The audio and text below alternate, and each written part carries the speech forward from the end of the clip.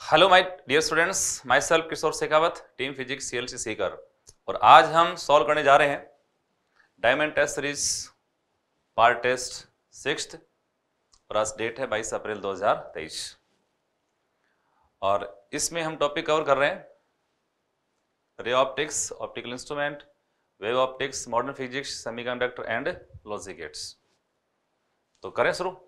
आइए।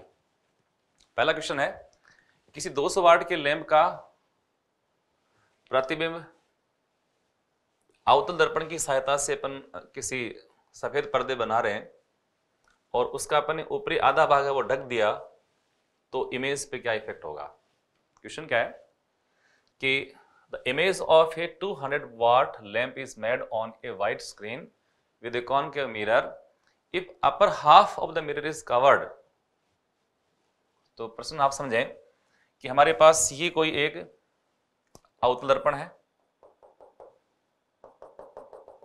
और ये कोई मान लो हमारे पास एक लैंप है। और इसकी अपन इमेज बना रहे हैं। और फिर ये कहा जा रहा है कि हम लोग इसका जो ऊपरी आधा भाग है, इसको अपन ने मान लो कवर कर दिया। या कोई हमने यहाँ पर एक ब्लैक पेपर या कोई सीट अपने अप्लाई कर दी और यहाँ से जो लाइट जा रही थी उसको अपन स्टॉप कर दिया।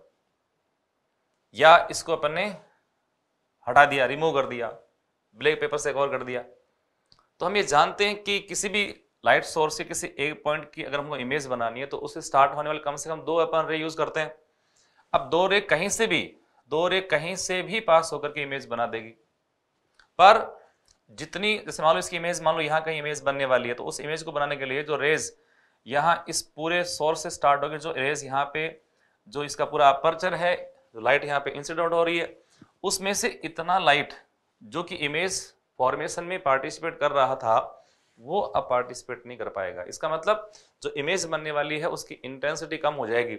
इमेज कंप्लीट बनेगी, पर उसकी इंटेंसिटी यानी दीप्ति जो है, तीव्रता जो है, चमक जो है, चमकीलापन है, वो इसका रिड्यूस हो जाएगा, घट जाएगा। इमेज पूरी बनेगी।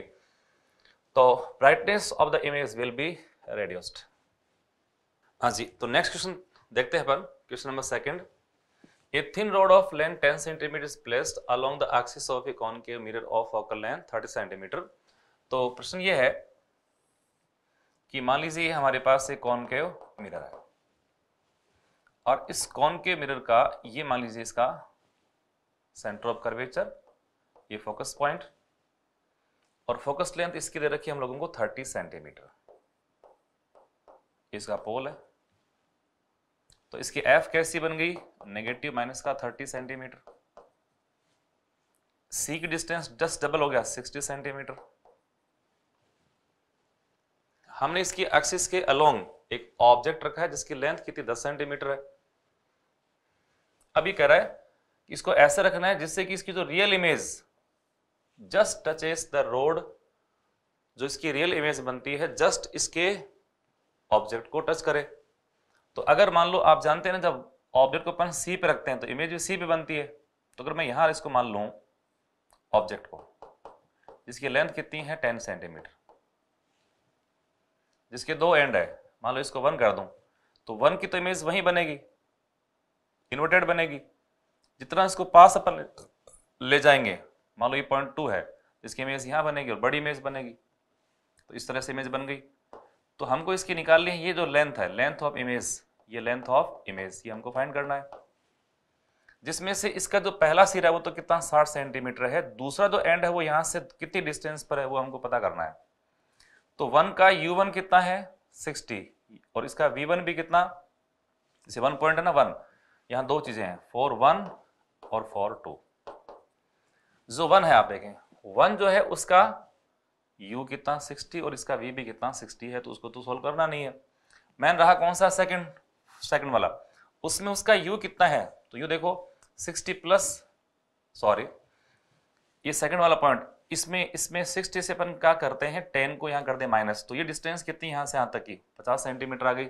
तो फोर टू के लिए u two is equal to है माइनस का 50 सेंटीमीटर एफ़ हम लोगों को मालूम है एफ़ तो था पहले से कितना? माइनस का 30 सेंटीमीटर। अब हमको इसका V2 निकालना है। V2 मिल जाएगा। इमेज की लेंथ आपको मिल जाएगी।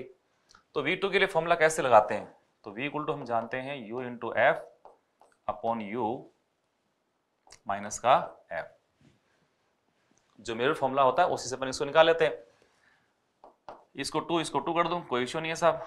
अब u2 हमारे पास कितना है? माइनस का 50 माइनस का 50 और इनटू माइनस का ही कितना? 30 अपॉन u माइनस का 50 और माइनस इनटू माइनस का 30 अब इसको अपन करते हैं सॉल्व तो बताइए माइनस इंटू माइनस के प्लस माइनस का 50 है प्लस का कितना हुआ? 30 क्या रहा यहाँ पर?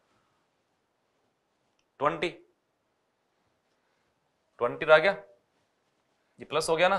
तो वैल्यू हमारे पास आई देखो माइनस का 50 इंटू माइनस माइनस प्लस हो गया।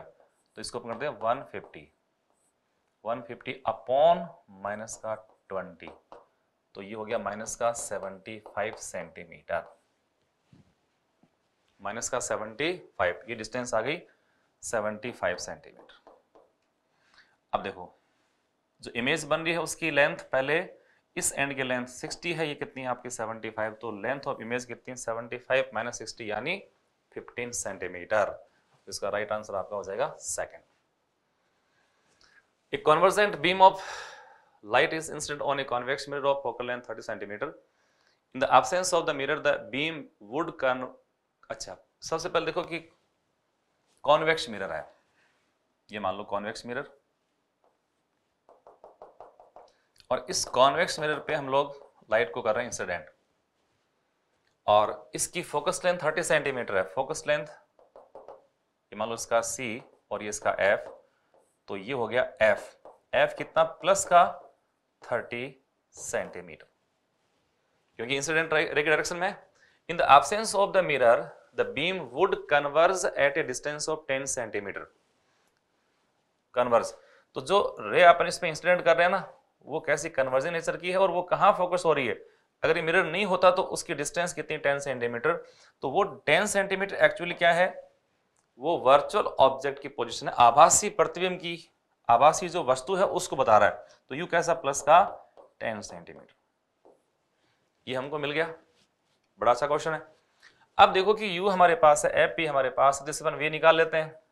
V कितना होता है? वो u इंटू एफ़ अपॉन कितना? U माइनस एफ़ बोले साहब, u हमारे पास कितना है? प्लस का टेन और ये भी कितना? Thirty upon u ten minus का थर्टी तो ऊपर हुआ कितना? थ्री हंड्रेड अपॉन माइनस का ट्वेंटी तो इससे सॉल्व करेंगे तो जी, ये हमारे पास वैल्यू कितनी आ गई? माइनस का फिफ्टीन सेंटीमीटर माइनस का फिफ्टीन का मतलब है कि पोल जो है उससे इस साइड में, यानी इस तरफ़ तो इमेज यहाँ बन रही है। अब ये मिरर के सामने है। तो ध्यान रखना जी जो मिरर होते हैं, जो इनकी रिफ्लेक्टिव सरफेस होती है, जिस रिफ्लेक्टिंग सरफेस की तरफ़ जो इमेज बनता है, वो हमेशा कैसा बनता है? रियल और जो इसके पीछे बनते हैं, वो कैसे बनते हैं? हमेशा वर्चुअल इमेज कैसा? रियल इमेज है. अच्छा दर्पण के सामने मिरर के सामने है तो 15 सेंटीमीटर इमेज कैसी बनेगी? रियल बनेगी. 15 centimetre in front of the mirror बिल्कुल ही आ रहा है. तो इसका आंसर क्या होना चाहिए? थर्ड का? फोर्थ बिल्कुल ठीक है. बढ़ते हैं? प्यारा क्वेश्चन देखो। अब इसमें ना, यहाँ अपन क्या कि रे डायग्राम से इसको शो नहीं कर सकते सिंपल सा व्यू है। आप ये निकाल लीजिएगा। अभी हमने, जो फाइंड हमने फाइंड करा है, वो कैसा आ रहा है? नेगेटिव आ रहा है। तो इसका मतलब दर्पण के सामने है मिरर के फ्रंट में है।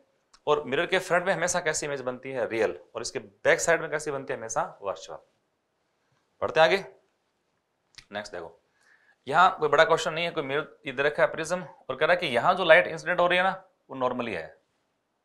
तो आपको ये पूछा है कि जो लाइट यहाँ पे इंसिडेंट हो रही है, उसका डेविएशन कितना है? तो अगर ये डेविएशन अपन निकाल तो इनिशियल डायरेक्शन क्या है इसकी? ये हुई। और यहाँ नॉर्मली इंसिडेंट, नॉर्मली इसका इमरजेंट हो रहा है तो ये एंगल ही क्या डेविएशन है? तो कैसे निकालोगे? देखो, सब दे रखा है। ये थर्टी है, ये कितना है? नाइनटी कितना हुआ? सिक्सटी। कितना? सिक्सटी। तो देखो, अगर ये इस तरह मूव करती है ना तो उस केस में ये एंगल कितना? थर्टी दे वाला थर्टी होता। कुल कितना है? सिक्सटी। तो डेविएशन कितना हुआ? सिक्सटी माइनस थर्टी यानी थर्टी डिग्री। तो यहाँ जो डेविएशन आपका डेल्टा इक्वल टू होगा थर्टी डिग्री। नेक्स्ट देखो।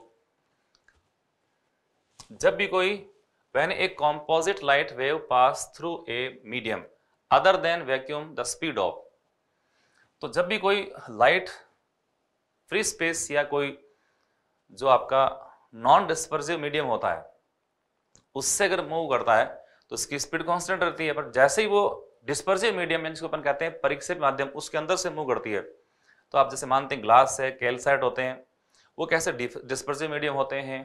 फ्री स्पेस है, आपका एयर है, उसको अपन क्या मानते हैं? उसको मानते हैं हम लोग नॉन डिस्पर्सिव मीडियम तो जब भी लाइट का पूरा का पूरा स्पेक्ट्रम या ई e जो है, वो अगर फ्री स्पेस से मूव करता है तो स्पेक्ट्रम के हर पार्ट की स्पीड कैसी? बराबर होती है।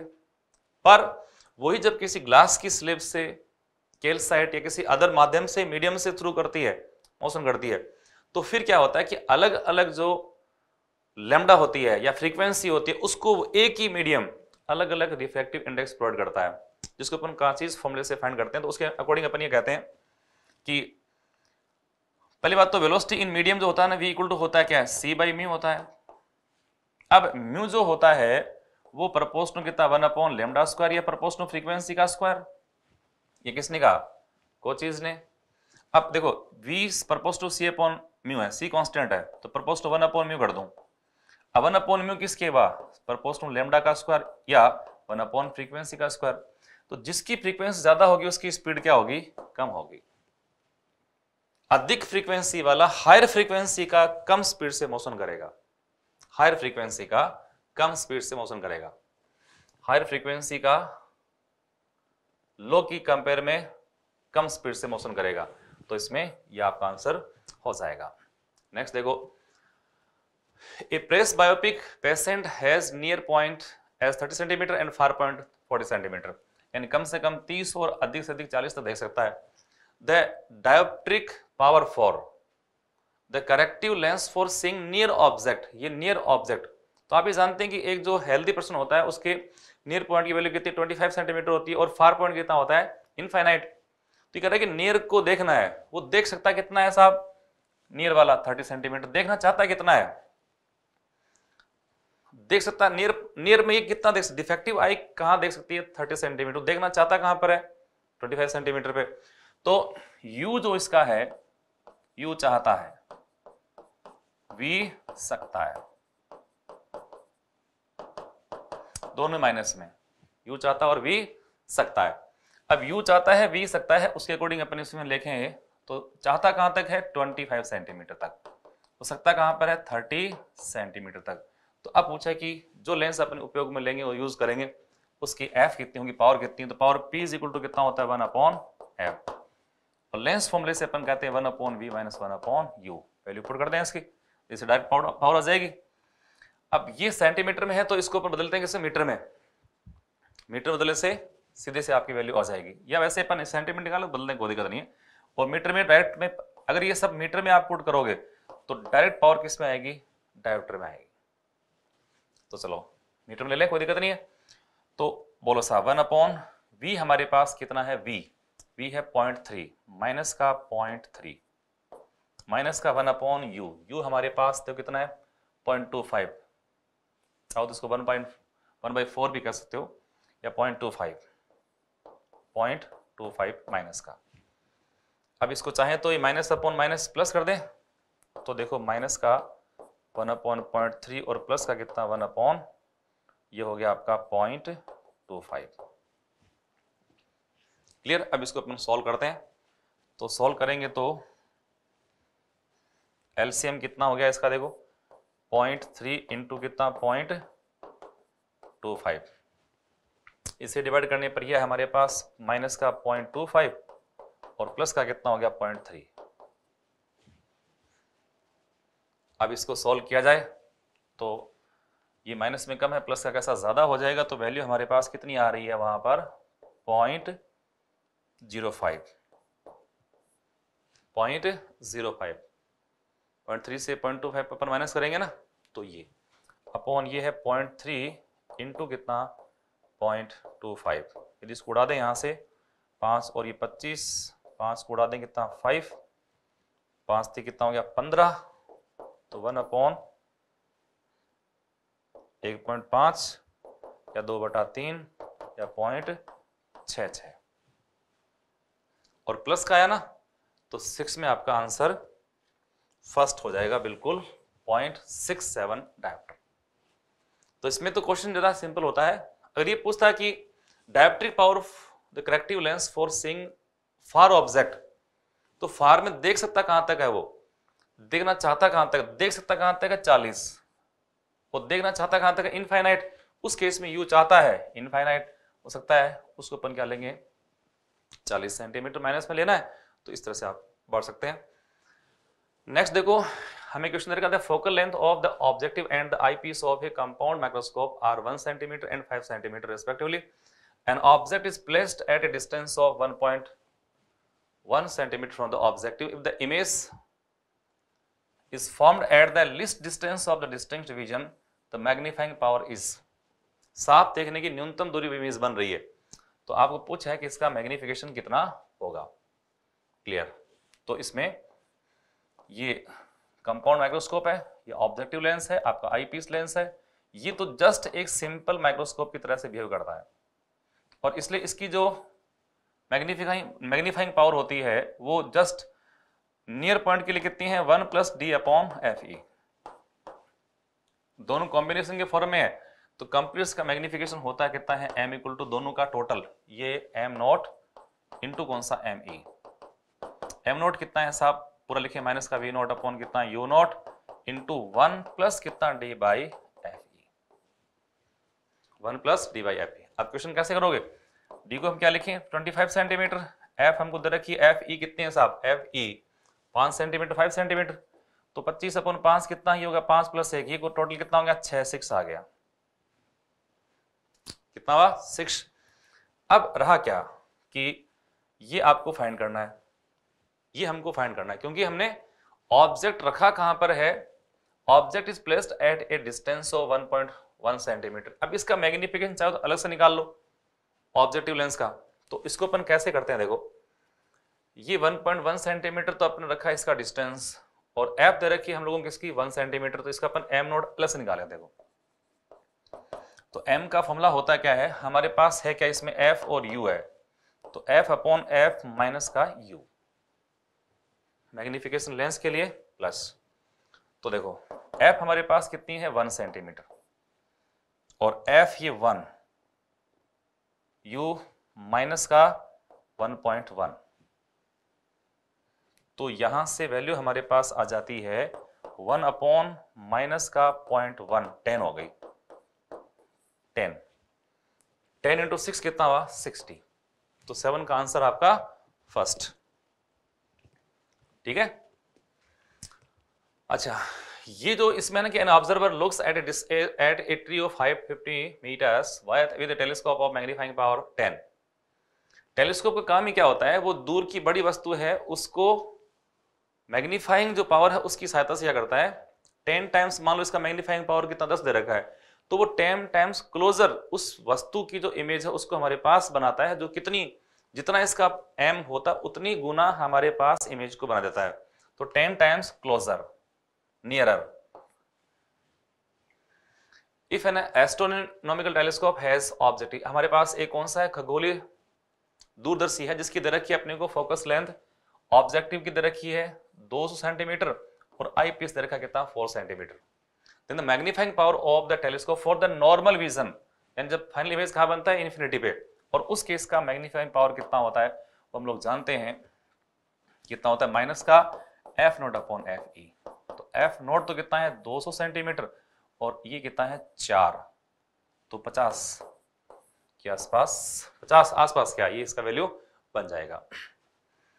अच्छा फिर ये कह रहा है कि in a Young's double slit experiment 12 fringes are observed to the formed in a certain segment of the screen when light of wavelength 600 nanometer is used. If the wavelength of light is changed to 400 nanometer, number of fringes observed in the same segment of the screen is given by. Question कह रहा है वाईडीएस जो प्रयोग होता है ना उसमें जैसे आप जानते हो ये S1 होता है ये कौन सा है S2 है ये हमारे पास एक सिंगल स्लिट है सॉरी डबल स्लिट है और यहाँ पे इसका बनता है इंटरफेरेंस पैटर्न बनता है तो ये कह रहा है साहब कि पहले हमने लाइट को यूज़ किया है कौन से को? 600 नैनोमीटर को। और उससे किसी स्किन के फिक्स पार्ट में जो फ्रिंजेस बन रही है तो ये वाई डिस्टेंस है ना वाई इस वाई इक्वल टू अपन कहते हैं n beta y equal to n beta n number of fringes है, वो बीटा होता है फ्रिंज विड्थ किसी फिक्स पाई पे।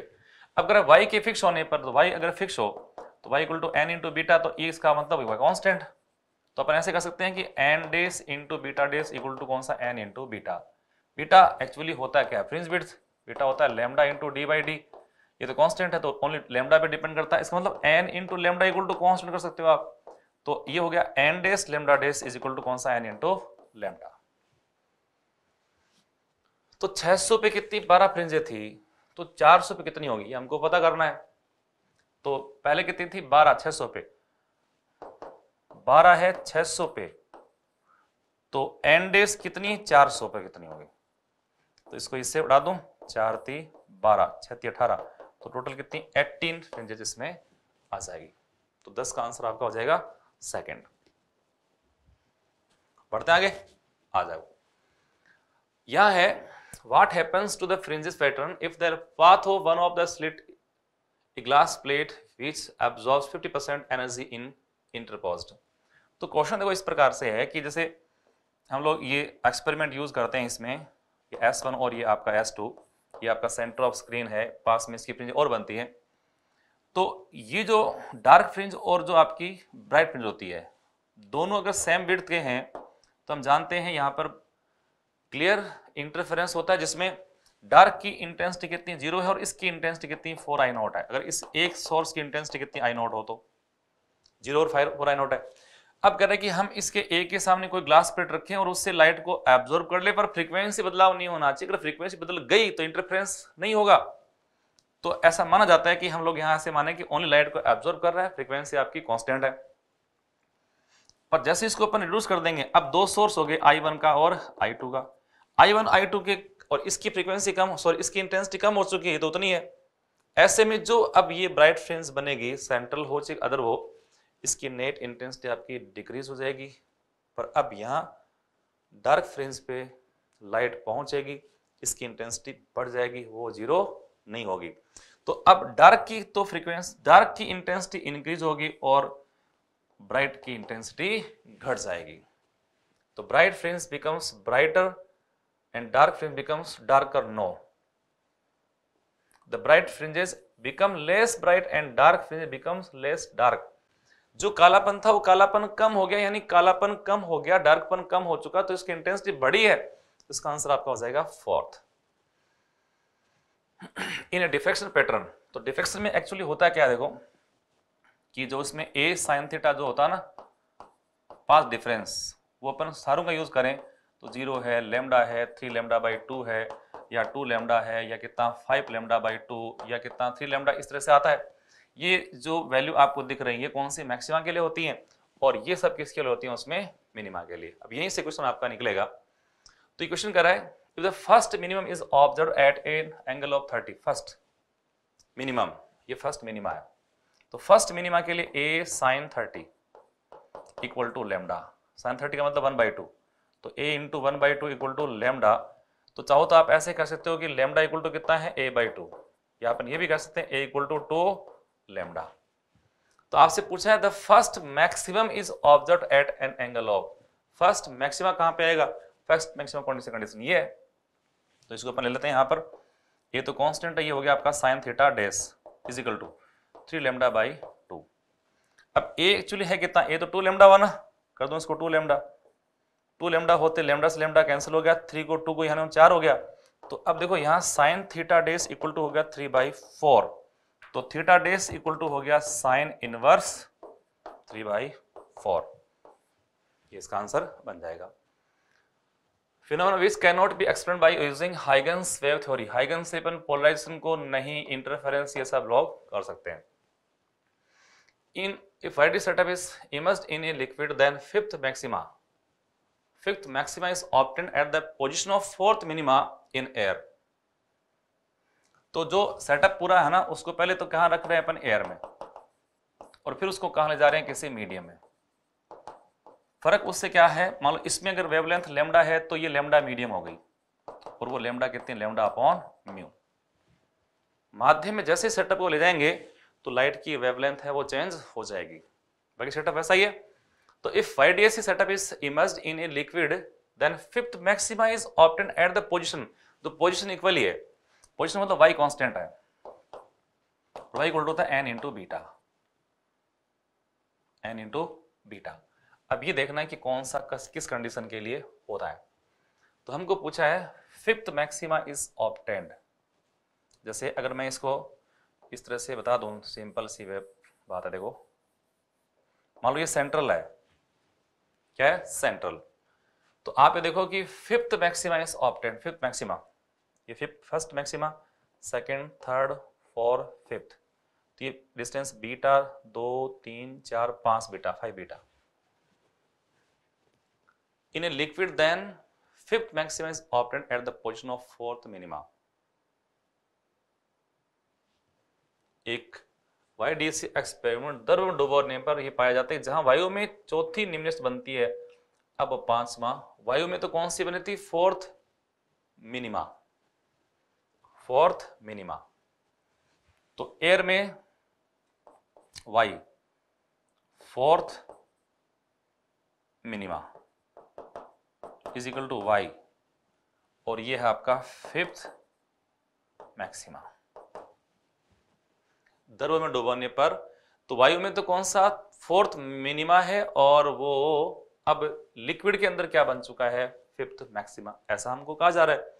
तो देखो एयर में फोर्थ मिनिमा तो ये फ़र्स्ट मिनिमा, सेकंड और थर्ड और फिफ्थ।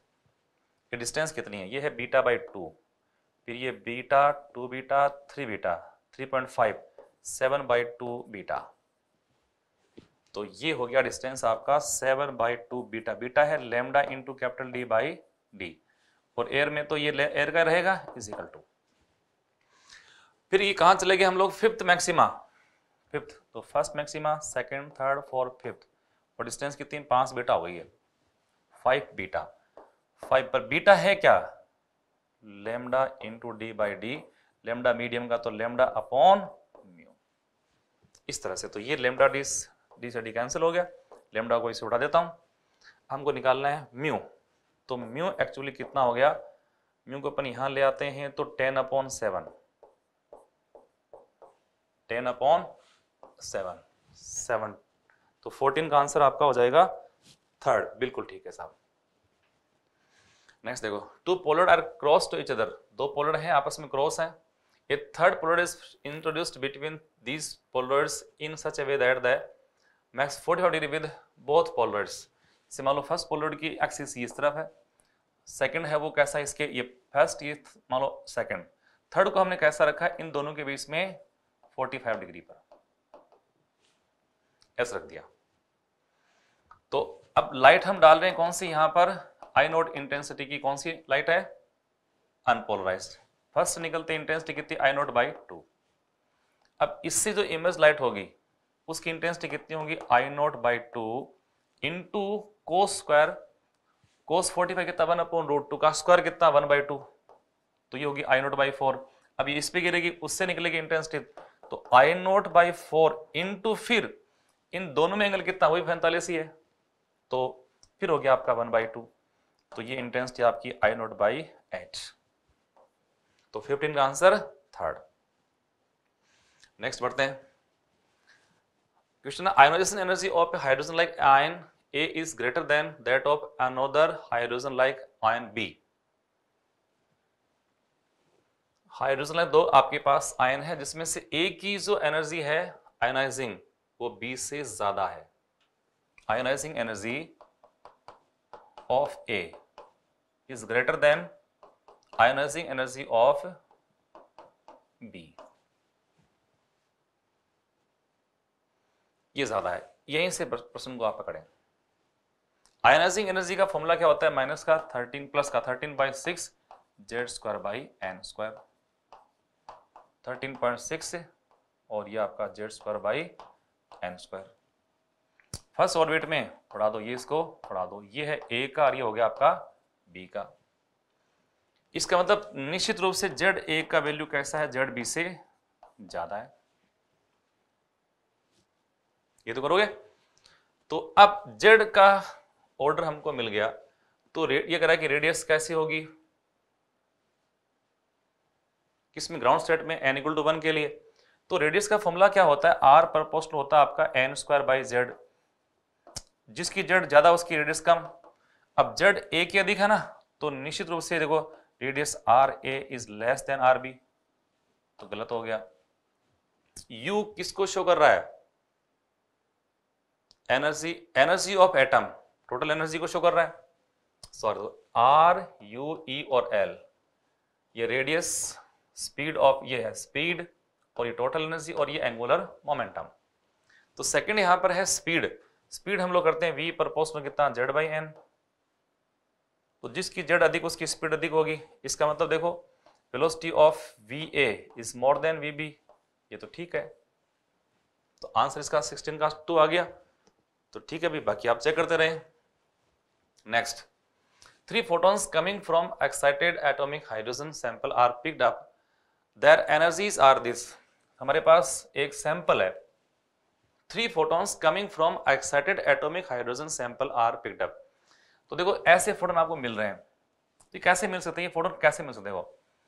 जैसे हाइड्रोजन एटम में अपन पढ़ते हैं तो ये इसकी फ़र्स्ट ऑर्बिट है, ये मान लो first n equal to one है, ये एन इक्वल टू मान लो टू है, ये एन इक्वल टू कितना? थ्री है। ऐसे अपन करते हैं। इन दोनों का बीच का गैप कितना होता है? टेन पॉइंट टू इनका गैप कितना होता है आपका? ट्वेल्व पॉइंट वन और ये गैप कितना होता है? वन पॉइंट नाइन और ऐसे फोटोन आपको दिखा रखे हैं। अगर मान लो ये यहाँ तक, मान लो अपने पास एक एटम है, वो यहाँ तक एक्साइटेड है, वापस आएगा तो फ़ोटो निकल गया एक एटम से निकल सकता है। यदि मान लो दूसरा एटम कोई है, वो यहाँ से एक्साइटेड हो, सीधा। पर एक समय पर एक ही प्रोसेस होगी। यानी यानी अगर यहाँ तक एक्साइटेड है तो उसको एक ही फ़ोटो निकाल करके ग्राउंड स्टेट में आ जाना चाहिए था। तो उसके लिए एक एटम चाहिए। यहाँ से सीधा अगर यहाँ होता है इसका ट्रांजिशन तो ओनली बारह पॉइंट एक का फोटोन इमिट हुआ और उससे भी ऐसा हो सकता है, या फिर यहाँ से यहाँ पहले गिरे, फिर यहाँ से यहाँ आए, पर उसके लिए अलग एटम चाहिएगा। तो एक एटम इससे पॉसिबल हो सकता है, या एक इससे डायरेक्ट हो सकता है, या यहाँ से यहाँ हो सकता है। तो कम से कम दो तो होंगे होंगे, दो तो होंगे होंगे, एक फोटोन इसके लेने के लिए और एक इसके डायरेक्ट ये हो सेपरेट यहाँ से यहाँ दो एटम या मान लो एक अलग से इससे आ गया, एक यहाँ से इससे आ गया और एक सीधा आ गया, तीन एटम हो गया। तो आइदर टू एटम्स और थ्री एटम्स ये हो सकते हैं साहब। दो से भी पार पड़ सकती है और तीन भी हो सकते हैं। तो अगला क्वेश्चन है the ionisation energy of hydrogen atom is this ये दे रखा है, आपने कोई फोटोन डाला, उससे 12.1 इलेक्ट्रॉन वोल्ट एनर्जी का इसने फोटोन एब्जॉर्ब कर लिया। तो पूछा कि अब इससे कितने ट्रांजेक्शन पॉसिबल होते हैं? फोटोन कितने निकलेंगे? तो जब ये कहा जा चुका है 12.1 लेकर के, वन से थ्री में तो एन कितना है इसका थ्री अब वापस जब आएगा तो ट्रांजिशन बनेंगे। या तो यहाँ से यहाँ हो सकता है या फिर सीधा यहाँ से यहाँ। तो एक और दो और तीन, या अपन इसमें अगर एन को थ्री मान लें तो नंबर ऑफ़ ट्रांजेक्शन कितने होते हैं? N into n minus one upon कितना टू तो थ्री इंटू टू अपॉन कितना टू तीन एक कम कर दो दो तो तीन इसके हो सकते हैं। अच्छा ये है बोर एटॉमिक का क्वेश्चन है the wavelength of the first line in Balmer series in the hydrogen spectrum is lambda Balmer की फ़र्स्ट की बामर की फ़र्स्ट की lambda what is the wavelength of the second line second की आपसे पूछिए बामर series है। तो बामर में हम लोग कहते हैं इलेक्ट्रॉन कहाँ से भी कहाँ आते हैं? कहीं से भी आते हैं सेकेंड में। तो दो केस इसमें दे रखे हैं। बामर की फ़र्स्ट में तो तीन से दो। और सेकेंड लाइन में चार से दो।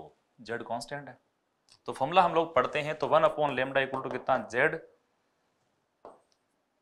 R Z square one upon lambda equal to R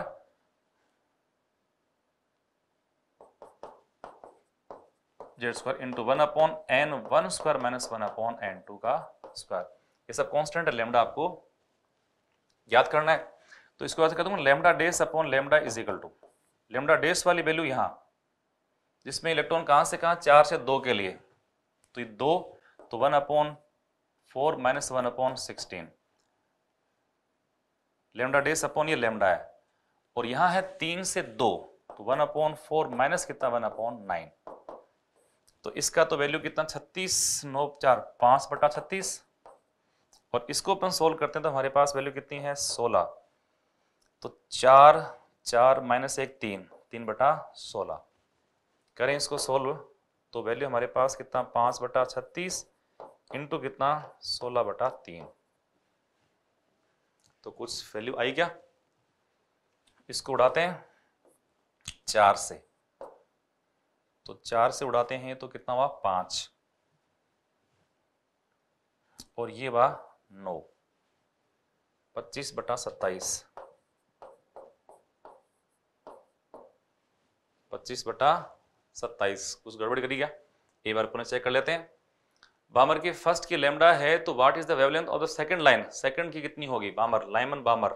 कहीं से भी फ़र्स्ट में लाइमन कहीं से भी सेकंड बामर। तो तीन से दो, चार से दो। लेमडा वन अपॉन लेमडा की वैल्यू ये है तो लेमडा हमारे पास उल्टा आएगा ना? तो लेमडा में तो ये हुआ चार से दो। दो का स्क्वायर चार वन अपॉन ठीक है। एल्सियम कितना हुआ इसका? सोलह। तो चार का अपन डिवाइड करेंगे तो कितना? चार। माइनस एक, तीन बटा सोलह, ठीक है। इसमें हमारे पास कितना? छत्तीस, नौ माइनस का चार, पाँच। तो पाँच बटा छत्तीस इंटू तीन बटा सोलह सोलह बटा तीन। तो आंसर कितना हुआ? नाइनटीन में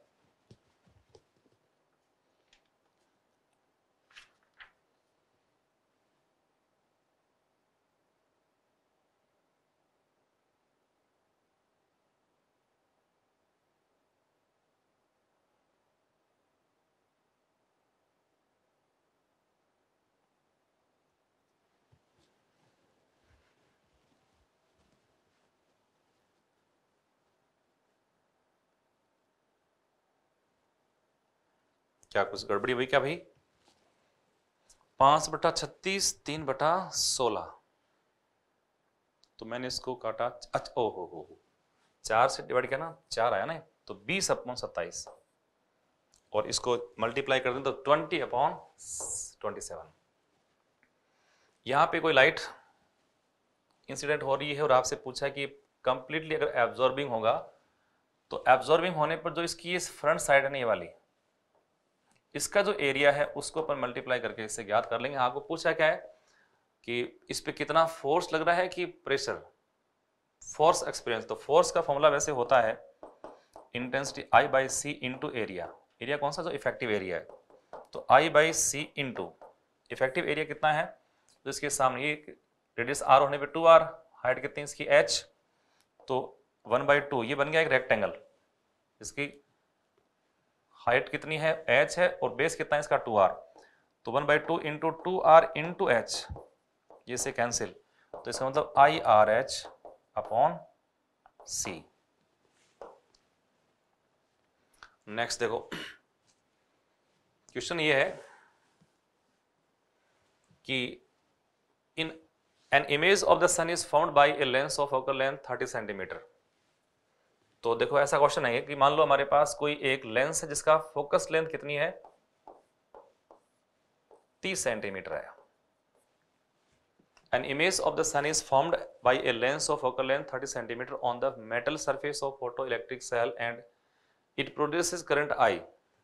यानी इस पर लाइट आ रही है सन से और यहाँ मान लो फोकस पॉइंट यहाँ लाइट हो रही है आपकी कंसंट्रेट और आपने यहाँ रखा है फ़ोटो इलेक्ट्रिक सेल तो धरा कितनी करंट फ्लो कर रही है? आई कर रही है। अब आपने क्या किया लेंस को रिप्लेस कर दिया? जिसकी फोकस लेंथ कितनी? पंद्रह सेंटीमीटर है। सेम डायमीटर इसका अपर्चर सेम है। अपर्चर सेम होने पे जितने फोटोन्स इसने कंसंट्रेट किए ना, या फोकस किए उनकी संख्या तो सेम रहेगी।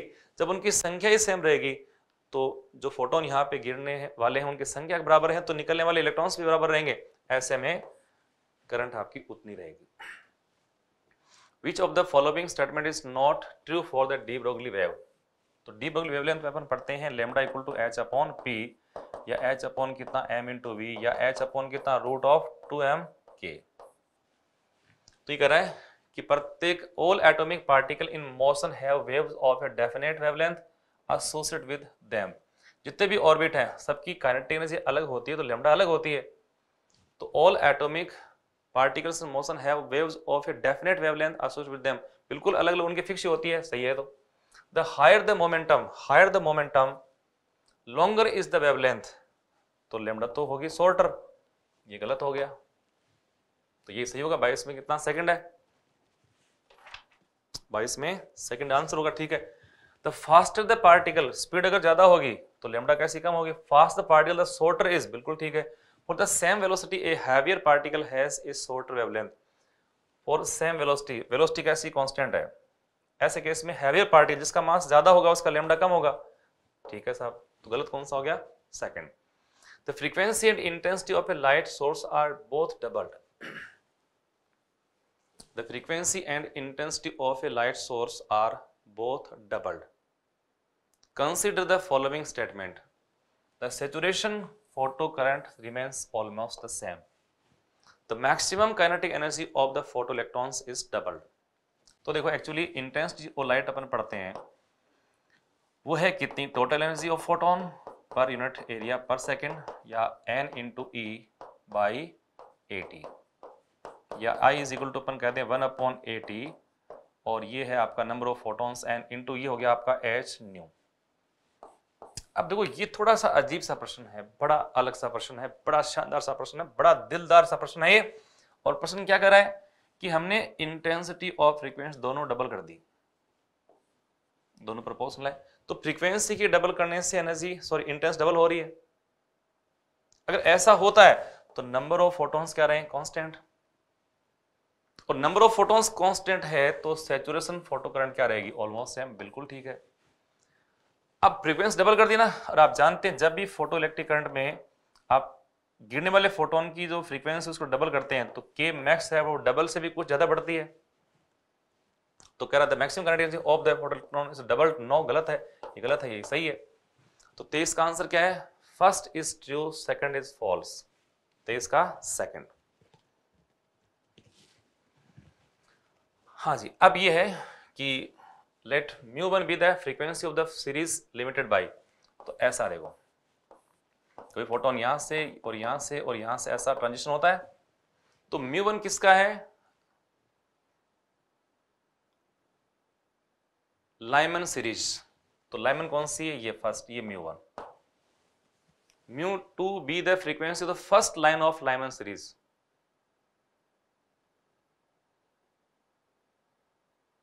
frequency of the series limited of the Lyman limited of Lyman और मतलब लिमिटेड ऑफ़ लाइन का मतलब हो गया ये इनफाइनेट है, यहाँ से इसका, ये है फ्रीक्वेंसी म्यू वन और फ़र्स्ट लाइमन की है mu two and mu three be the frequency of series limited of the Balmer Balmer की लिमिटेड ये ये है आपका म्यू थ्री ऐसा कुछ बोला हुआ है। इन्फिनिटी से वन होने पर फ़र्स्ट फ्रीक्वेंसी लाइमन की लिमिटेड यानी टर्मिनल फ्लास्ट वाली। अब इनका आपस में रिलेशन क्या है? तो जो इसकी एनर्जी है वो इन दोनों के सम के बराबर है। तो इसकी एनर्जी कितनी है? H nu one is equal to कौन सा? H nu two plus H nu three H को अपन करते हैं कैंसिल तो म्यू वन इक्वल टू कितना? Mu two plus mu three mu one equal to इसको लाए तो ये हो जाएगा। An energy of 24.6 electron volt is required to remove one of the electron from a neutral helium. Helium से जैसे helium है इससे अपने एक इलेक्ट्रॉन निकाला तो बन गया हीलियम प्लस वन और इसकी एनर्जी कितनी चाहिए? चौबीस पॉइंट छः अब इसका एक इलेक्ट्रॉन और निकालना ये बन गया सिंगल इलेक्ट्रॉन सिस्टम। इस पर बोर थोड़ी अप्लाई हो जाएगी। और इससे इलेक्ट्रॉन निकालने के लिए एनर्जी कितनी चाहिए? वो हम लोगों को फाइंड करनी है। तो वो एनर्जी कितनी आएगी इस वाले में? वो है तेरह पॉइंट छः और Z square by N square. First orbit में है। जेड हमारे पास कितना है? दो। तो चार। तो तेरह पॉइंट छः इंटू चार। ये चौवन पॉइंट चार करीब हो जाएगा। अब इसमें पहले कितनी सी एनर्जी? 24.6 बाद में कितनी सी आपका 54.4 कितना हो गया? 0 4 और 4 8 और 9 5 और 6 7 और ये 79.0 the stable nucleus that has a radius of 1.3 that of osmium 189 is. Stable nucleus that has a radius 1/3 that of osmium is. कोई ऐसा न्यूक्लियस जिसकी रेडियस इसकी कंपेरेबल में कितनी वन अपॉन थ्री टाइम्स है? इससे छोटी रेडियस है। तो हम ये जानते हैं कि रेडियस प्रपोर्शनल क्या होता है? ए की पावर वन बाई थ्री हमको ए निकालना है, उसके तो ए को हम कैसे कर सकते हैं? ए पर प्रपोर्शनल आर की पावर क्या होगा? थ्री तो A dash upon A is equal to हो गया, देखो आर डेस अपॉन आर इसकी पावर कितना? Three R dash upon R R dash कितना? वन बाई थ्री है। तो इसको आर बाई थ्री करूँ तो वन अपॉन थ्री की पावर कितना? थ्री इसका मतलब one upon twenty seven three की पावर थ्री। थ्री की पावर थ्री।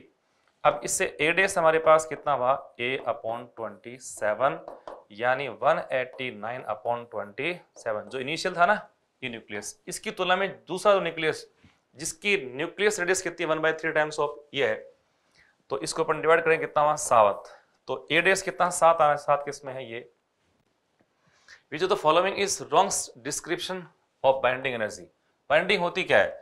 जब प्रोटॉन्स और न्यूट्रॉन्स आपस में मिक्स होते हैं तो जो एनर्जी निकलती है और न्यूक्लियस बनता है तो ये बाइंडिंग एनर्जी हो गई तो जो निकल रही हो रही है, इसको ब्रेक करना है, वापस इससे अपने कॉन्स्टेंट न्यूक्लियंस के अंदर तो जो एनर्जी निकलती है, यहाँ तो एनर्जी निकल रही रिलीज़ और ये देनी पड़ती है तो जो गिवन एनर्जी होगी, वो भी बाइंडिंग एनर्जी कहलाती है। तो देखो, और या जो न्यूक्लियस आपका बन चुका है, इसको कंप्लीटली अपन डिस्ट्रॉय करते हैं तो इसकी रेस्ट मास एनर्जी है। रेस्ट मास एनर्जी उसको भी हम लोग कैसे रेस्ट मास एनर्जी डिफरेंस होता है। वो भी, इन दोनों की रेस्ट मास एनर्जी का डिफरेंस भी बाइंडिंग एनर्जी कहलाता है। तो it is the energy required to break a nucleus into its constant nucleus ठीक है? तोड़ने के लिए आवश्यक। It is the energy release when free nucleons combine to form a nucleons तो जब ये बन के आपस में कंबाइन होकर बनता है तो भी निकलती, वो भी है। It is the sum of the rest mass energies of its nucleons minus the rest mass energy of the nucleus nucleons और न्यूक्लियस है, उनका मास अपन घटा करके याद कर तो बिल्कुल ये भी ठीक है। It is the sum of the kinetic energy of all the nucleons no no no ये तीन सही है। तो रॉन्ग डिस्क्रिप्शन फोर्थ आएगा। An alpha particle is bombarded on n14 n14 तो 7 एन 14 इस पेपर ने करा बम्बार्ड कितना? 2He4 और इससे बना क्या? ऑक्सीजन 8O17 प्लस 14 और 4 कितना? 18 तो 1H1 सात और दो, नौ। आठ और एक, नौ। 1H1 proton a free neutron decays into proton and an electron free neutron zero N one बन गया वन पी वन अब बैलेंस करना है ना? तो ज़ीरो और ये वन तो माइनस का वन ई ज़ीरो प्लस ये है कौन? ये आपका है beta minus particle electron beta minus के साथ हमेशा निकलता है कौन सा? एंटी न्यूटिनो तो साथ में कौन निकलेगा? एंटी न्यूटिनो 29 में second. Yes sir in a uranium reactor whose thermal power is this power दे रखी है। Number of neutrons limited each nucleon splitting is 2.5 each splitting is assume to be release an energy of this the number of neutrons generated per unit time is हमको पूछा है हर एक के टूटने से 2.5 neutrons निकलते हैं तो number of neutrons generated per unit time is देखो, जितने न्यूक्लियस टूटते हैं, पहले वो निकाल लेते हैं। तो पावर पी इक्वल टू है क्या? वो है टोटल एनर्जी अपॉन टाइम तो इसको हम लोग ऐसे कह देंगे नंबर ऑफ़ न्यूक्लियस ये एन इंटू ई न्यूक्लियस जितने टूटेंगे इंटू ई ई है एक के टूटने से निकलने वाली एनर्जी जो हमारे पास सैंपल होता है उसमें मान लो एम ग्राम कोई सैंपल उसका मास कितना है एटॉमिक मास, मान लो एम नॉट तो इससे अपन ये पावर पी इक्वल टू लिख देता हूँ एन एन कितना हुआ? एवोगेड्रो नंबर सॉरी एन हमारे पास है number of nucleons sorry again I am sorry P equal to N upon T total energy upon time इसकी पावर आ जाएगी। जिसमें से एन यहाँ पे है, जो सैंपल है, उसमें कितने न्यूक्लियस हैं। ठीक है? तो न्यूक्लियस है कि जितने एटम उतने न्यूक्लियस होंगे। जितने एटम्स उतने न्यूक्लियस नंबर ऑफ़ एटम्स निकालते हैं तो ये हम निकालते हैं मोल कॉन्सेप्ट से तो मोल कॉन्सेप्ट से अमाउंट ऑफ़ मास अपॉन इसका molecular weight into Avogadro number into कितना? ई बाई टी क्लियर तो पर इसमें ये बात तो पूछी नहीं ना। अपने को तो ये पता करना है कि ये एन जो है ना, ये एन एन हुआ कितना? P into T by E yes तो ये नंबर ऑफ़ टोटल न्यूक्लियस है। पी हमको दे रखा टी हमको दे रखा है कैसा? पर टाइम पर सेकंड पर सेकंड वन ले लेंगे। पी दे रखा हमारे पास कितना? 100 मेगावाट तो एक्चुअली ये बन गया आपका पी तो कितना है? 100 मेगावाट दस की पावर आठ। टी हो गया वन ई हमारे पास कितना? 200 मेगा इलेक्ट्रॉन वोल्ट है। 200 मेगा इलेक्ट्रॉन वोल्ट यानी 1.6 पॉइंट छह इंटू दस की पावर माइनस का तेरह। तो इसको सॉल्व करें। तो ये हो गया बत्तीस, दो सौ, हटा दो इसको तो कितना? ग्यारह। इसको ले जाते हैं ऊपर तो आठ और ग्यारह कितना हो जाएगा? आठ और ग्यारह, इक्कीस। तो एक बटा तीन पॉइंट टू इंटू कितना? दस की पावर इक्कीस। और इसको अपन मल्टीप्लाई करते हैं टू पॉइंट फाइव से, क्योंकि एक न्यूक्लियस के टूटने से इतने न्यूट्रॉन निकल रहे हैं। तो हमको निकालना टोटल न्यूट्रॉन्स कितने निकलेंगे? तो ये अप्रोक्स कितना हो जाएगा?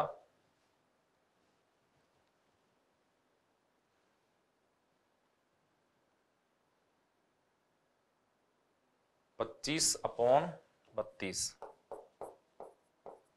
इंटू दस की पावर इक्कीस।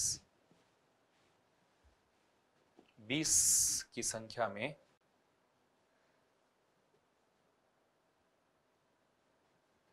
तो अगर मैं इसको पाँच से गुणा करता हूँ तो पाँच दूनी दस, पाँच थी पंद्रह, सोलह। तो 125 अपॉन कितना? 16 इंटू दस की पावर 21 11 और ये, एक हटा दूँ तो 20 125 नंबर ऑफ़ न्यूट्रॉन्स। तो इस क्वेश्चन में आपका 30 में जो आंसर अपन देखें तो आंसर इसका आ रहा है चार नंबर। तो कुछ हल्का फुल्का कहीं गड़बड़ हमने किया। वो देखते हैं। मेगा। तो छ और दो, आठ। ये तो ठीक है। दस की पावर आठ। टाइम कितना है? One second. ओके ई दो सौ था ना, दो सौ मेगा इलेक्ट्रॉन वोल्ट, दो सौ इंटू एक पॉइंट छ दस की पावर माइनस का उन्नीस छः हो गया काम तो तेरह हो गया, दो सौ माइनस का ग्यारह, और ग्यारह और आठ अच्छा ओ हो हो ये है नाइनटीन। 19 से एक कम कर देंगे ना, ये 160 आएगा तो ये हो गया 18 बिल्कुल ठीक है 125 अपॉन एक मैंने पावर घटा दी इसकी 19 से 18 हो गई तो ये आपका सही सही आंसर आ जाएगा। बढ़ते आगे। The drift current in a PN junction is तो पीएन जंक्शन होता है तो ड्रिफ्ट करंट हमेशा फ्लो करती है किसमें? रिवर्स बायस में। रिवर्स बायस में हम लोग कैसे करते हैं? इसको जोड़ते हैं इस तरह से। तो करंट यहाँ से चलेगी इसमें तो पी भाग और ये एन भाग तो एन से पी की तरफ़ फ्लो करेगी। एन से पी की तरफ़ from N side to P side to table for system of four net gate आया shown in the figure is तो देखो, इसमें एक्चुअली है क्या? ये हमारे पास ए तो यहाँ से ए चला गया और यहाँ पर भी ए आ गया। यहाँ से बी चला गया और ये बी आ गया। ये आपका एंड नैंड गेट। अच्छा जी ए और बी यहाँ पर दोनों पहले हो गए मल्टीप्लाई तो ए बी और ये हो गया ए बी का बार। इसको मिल रहा है, इसको मिल रहा है। दोनों आपस में होंगे मल्टीप्लाई तो ए इंटू क्या हुआ? ए इंटू ए बी का बार। उसका डबल बार। यहाँ हो गया बी डॉट ये आ गया हमारे पास, फिर ए बी का बार का डबल बार। फिर दोनों आपस में क्या हो रहे हैं? मल्टीप्लाई फिर इसका नोट हो रहा है। तो वाई जो हमको मिल रहा है, वो क्या है? ए डॉट ए बी का बार का डबल बार। ये अलग से है साहब। इसको पहले इसमें इनपुट करेंगे और इसके साथ कौन मिल रहा है? बी डॉट ए बी का बार का फिर बार। ये दोनों, ये इनपुट गए और इस सब का फिर बार, ये इसका बोलिन एक्सप्रेशन बन गया। इस बोलिन एक्सप्रेशन के बनने के पश्चात, अब हम लोग क्या करते हैं कि ए और बी की वैल्यू हमको दे रखे हैं तो जैसे इस टेबल है ना, उसमें ए और बी की वैल्यू पुट करके, अब इसमें क्या ये लेंदी रहेगा? तो आप इसको ए और बी को पुट करके, आप जैसे ए की और बी की वैल्यू है ना ज़ीरो वन यहाँ ज़ीरो ए को ज़ीरो रखा ज़ीरो रखते ही वैल्यू ऐसे निकाल निकाल कर यही वैल्यू इसकी कंप्लीट निकाल लो, फिर इसको सॉल्व कर दो। और ऐसे करने पर, इसका आंसर थर्टी टू का, वो आपका आ जाएगा। फ़र्स्ट ये आप लोग कर लेंगे, थोड़ा लेंदी है। कैसे करना बताता हूँ। तो टेबल है ना ये, ज़ीरो ज़ीरो। पहले ए और बी को रखा, ज़ीरो ज़ीरो ज़ीरो ज़ीरो। फिर लिखा, ज़ीरो, वन। और ऐसे चेक करोगे तो इसका फाइनल आंसर आ जाएगा। वाई के चार ऑप्शन आएँगे, उसको अपन मैच करेंगे आंसर आपका बन जाएगा। ये भी ऐसे देखो, यहाँ हमारे पास है क्या? कि y इक्वल टू है a dot B bar plus कौन सा a? B bar dot y is equal to A dot B bar plus ये है b डॉट a बार और हमको बोला कि a इक्वल टू वन है और b इक्वल टू वन है तो y कितना आएगा? तो वैल्यू पुट कर दो बस a कितना है?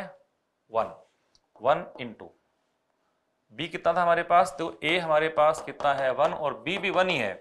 तो वन का बार प्लस बी हमारे पास क्या था? वन डॉट वन का बार तो ये हुआ क्या साहब? तो वन इंटू ज़ीरो हो गया, ये भी ज़ीरो तो ज़ीरो आंसर आ गया। ज़ीरो प्लस ज़ीरो ज़ीरो तो आंसर क्या आ रहा है? फ़र्स्ट थर्टी थ्री में वन ठीक है? और ये सोलर सेल के लिए होता है। ग्राफ सिंपल जानते हो आप? ओपन सर्किट का वोल्टेज है किसका? शॉर्ट सर्किट का सोलर सेल ग्राफ होता है बेसिक होता है। In NPN transistor current gain is common emitter configuration is 19 किसका? कॉमन एमीटर का, यानी बीटा 19 आपको पूछा है उसका? कॉमन बेस का अल्फ़ा अल्फ़ा इक्वल टू है क्या? बीटा अपॉन 1 प्लस बीटा तो 19 अपॉन कितना? 19 प्लस कितना? 20 इसको 5 से मल्टीप्लाई 5 से कर दो डिवाइड तो नीचे कितना होगा? 100 90 नाइन इंटू फाइव कितना हुआ? पैंतालीस यानी forty five four nine nineteen five point hundred कितना? पॉइंट नाइन फाइव ये आंसर नेक्स्ट देखो साहब। The critical angle for water with respect to air is theta जैसे ये मान लो वाटर है, ये है मान लो एयर क्रिटिकल एंगल ये theta angle what is the angle, angular range in which the just, fish just below the surface of water can see the object outside? तो जो फ़िश होती है ना फ़िश यहाँ होती है तो उसको देखना हो। तो अपनी जो गर्दन है, वो उसको यहाँ और यहाँ रखे ऐसे।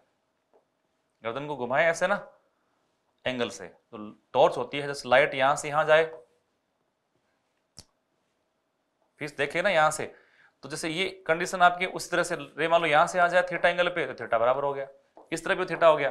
तो एक्चुअली जो टोटल इसकी जो है ना रेंज जैसे ये लाइट थीटा को क्रॉस करके तो लाइट पुनः उसी मीडियम में रिफ्लेक्ट होकर आ जाएगी, इसका टीआर हो जाएगा। टीआर कब तक नहीं होगा? जब तक लेमडा यहाँ से जो ये लेमडा है थीटा जो है, वो जो गिवन था उससे कम हो जाए। तो इस तरफ़ भी थीटा है, इस तरफ़ थीटा तो कुल कितना हुआ? ये हो गया आपका sorry two theta which of the following is not the case with the image found by a concave mirror. जो कॉनकेव मिरर बनाता है इमेजेस रियल ऑब्जेक्ट से, वो कैसे बनती है? आप इसको बस मान लो ये इसका सी है और ये एफ़ है। जब ऑब्जेक्ट को अपन इन्फिनिटी से लेके आते हैं, कहाँ तक? सी तक सॉरी एफ़ तक। तो इमेज बनती है एफ़ से लेकर के इस तरफ़, वो सारी इमेज कैसी बनती है? रियल इमेज बनती है। यहाँ ये छोटी इमेज है, बराबर आकार की, बड़ी इमेज होती है। जब एफ़ से इसको और पास लाते इमेज बनती है इस तरफ़, यहाँ से होते, पास आती है सारी कैसी हैं? वर्चुअल इमेज है। बड़ी इमेज है। तो इट मे बी इरेक्ट और इन्वर्टेड इरेक्ट भी हैं और इन्वर्टेड भी हैं, ठीक है। इट मे बी मैग्नीफाइड और डायमनेस्ट ये मैग्नीफाइड भी हैं, ये मैग्नीफाइड भी हैं डायमनेस्ट भी हैं, छोटी भी हैं। इट मे बी रियल और वर्चुअल ये आपकी वर्चुअल है रियल भी है। Real image may be between pole and focus real जो इमेज बन रही है पोल और फोकस के नहीं साहब ये सारी कहाँ एफ़ और इनफिनिटी के बीच बनती है। तो ये आपका wrong an object is placed at a distance equal to the focal length of the convex mirror. ये है साहब कॉन्वेक्स मिरर ठीक है? कहाँ पे रखा है? फोकस लेंथ पे. The focus length is 20 centimetre और इसकी एफ़ इस तरफ़ है. ऑब्जेक्ट आपने यहाँ रखा है. तो यू तो इसका है माइनस का 20 और इसकी एफ़ कितनी है? वो है प्लस का 20 an object is placed at a distance equal to the focal length of the convex mirror focal length है इसका पोल है। इंस्टेंट लाइट अपन इस तरफ़ इस तरफ़ प्लस इस तरफ़ माइनस अपन लेंगे। तो फोकस लेंथ तो इसकी इस तरफ़ होगी यहाँ ये, जो कैसी प्लस की आ गई। और आपको दे रखा है यू कितना माइनस का? Twenty the distance the image from the pole of the mirror तो इमेज की जो डिस्टेंस कितनी होगी? V U into F upon कितना? यू माइनस एफ़ मिरर का है ना? तो माइनस आ जाएगा। वैल्यू पुट कर लेते हैं।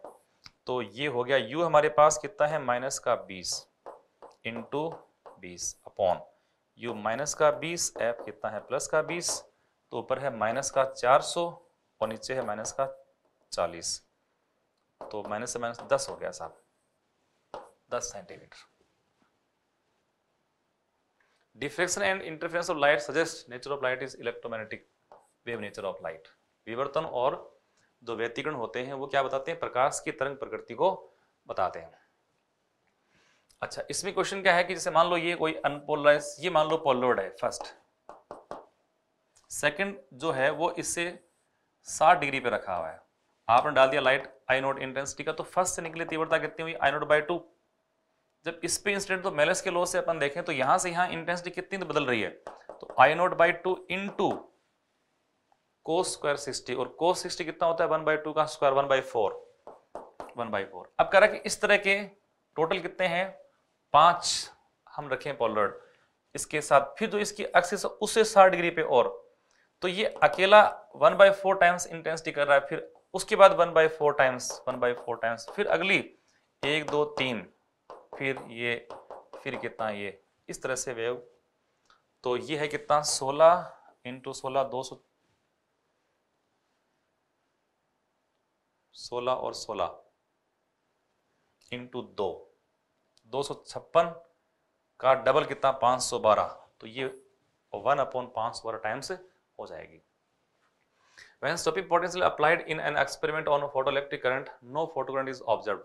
जब मान लो अपन ये फ़ोटो इलेक्ट्रिक पढ़ते हैं तो मान लो जो आपने फ़्लाइट है वो कर दी इंसिडेंट ई एनर्जी की फ़ोटो यहाँ निकल रहे हैं। अब मान लो मैं यहाँ मान लो कैथोड को ये सॉरी तो कैथोड मान लो ये आपका है एनोड और इसको आपने नेगेटिव वोल्टेज पे इतना कर दिया माइनस वी नोट पे। तो माइनस वी नोट पे इलेक्ट्रॉन सब यहाँ पहुँचना स्टॉप हो जाएँगे। पर इमिशन स्टॉप नहीं होगा। इलेक्ट्रॉन्स आपने यहाँ फोटोन डाल रहे हो इलेक्ट्रॉन्स यहाँ इमिट हो रहे हैं, पर वापस वो एब्जॉर्ब होना स्टार्ट हो जाएँगे। ऐसा नहीं कि यहाँ पर इमिशन स्टॉप हो गया। तो the emission of photo stop no गलत है। The photoelectron photoelectrons are emitted but are reabsorb by the emitter ये इमीटर सरफेस इसको वापस री एब्जॉर्ब कर लेगी। Which of the following graph in figure shows the variation of photocurrent voltage साथ? Voltage graph ही बनता है।